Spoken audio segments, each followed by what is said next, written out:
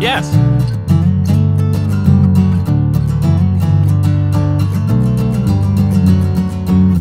Rest up in Tennessee, find where the ignorant fucks of the world meet.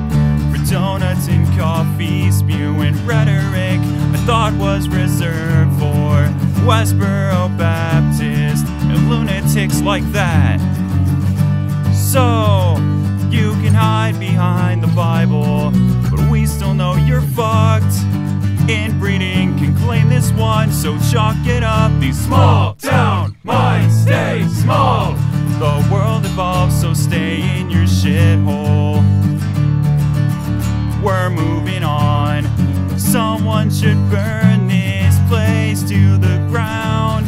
I'll see you motherfuckers in hell.